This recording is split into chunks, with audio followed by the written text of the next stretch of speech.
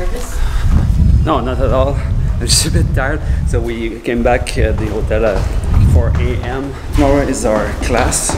It's just a short one hour. And we changed everything yesterday. We started from scratch actually. Most of the people are following us for the tubes and they, they shoot outdoors. So this is what we're going to show them this morning.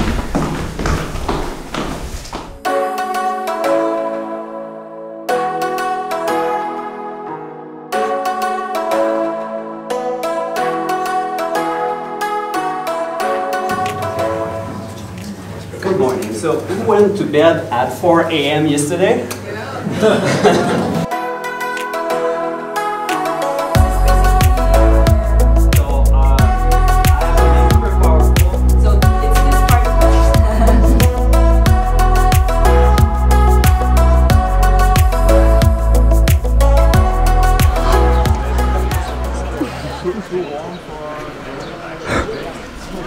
I'm Ian Norman. Uh, I'm one of the co-founders of LonelySpeck.com, which is resource for learning astrophotography and night photography.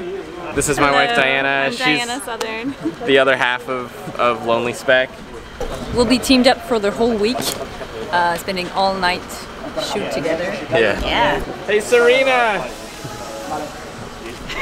she, she turned the other way. She looked away. Bolsa para mareo. Kim was on fire during the presentation and I think that the participant liked it just a little bit. Yes, no?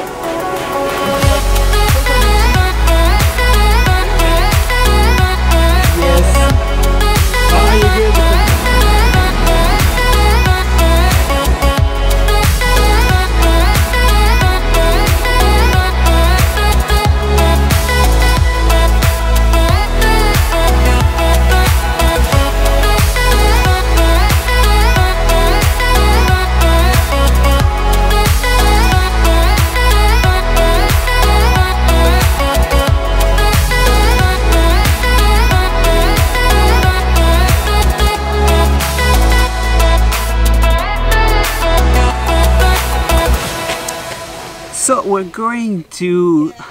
it's okay, I'll join you. So we're going to the same place that we went three days ago with a different group, so we know what's going to happen, more or less. Uh, we hope we could find some sparklers for tonight. Now we just stop here to grab our dinner. I'm getting late to join the group.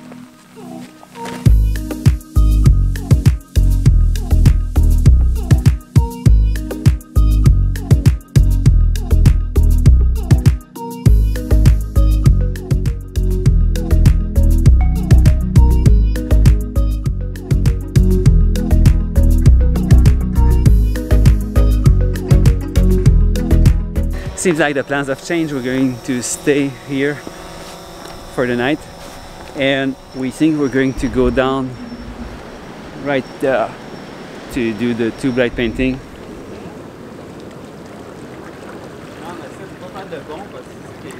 Um, we have a very complicated uh, shooting tonight. I found like the perfect spot, but it's very slippery. Yeah, it's, it's slippery and a bit sharp on the edges.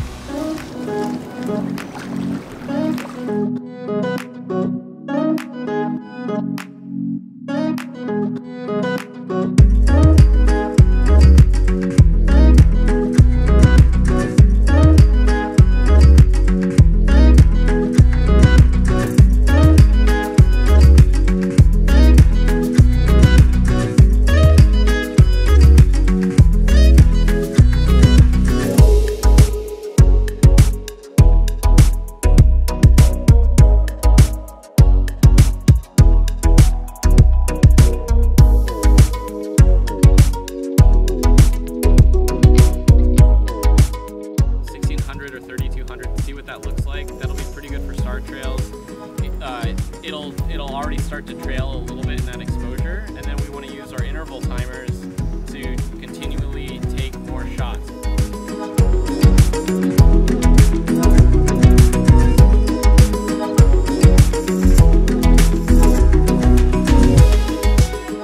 This is actually a shot that I've wanted to do. As I was extremely far, and the way you were doing it is not on bulb, but you were using a fixed duration exposure and I was turning on and off the flashlight and I felt that it was so much more natural to do that when you need to capture the stars here's the the easy trick you can control the amount of light during the exposure with the light itself rather than relying on having to trigger the, the camera too. So I, I've been working on bulb my whole life because I need to control the exact direction of the light painting. But I can do that with the flashlight. When, when we're shooting in very dark conditions like tonight, it's okay. It works great. Turn on and off the flashlight.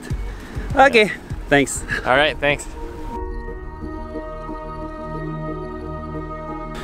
And just one last step, we're going to make a group picture, all of us with the Milky Way, yes? Oh. Yeah. Ah, the, the, the, students, no? What he wants to do is not just the Milky Way, but you have a really good alignment of the students.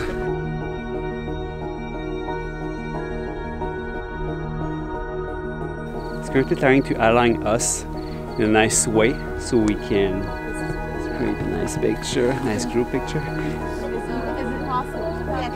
Wait, no, it's not easy to align. 16. Apagamos las luces un segundo. Turn off the lights or turn them on?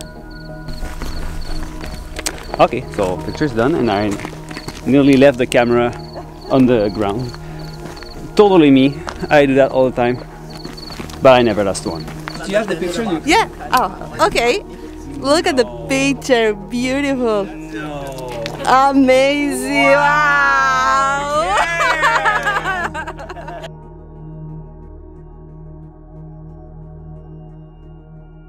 Okay, let's go home.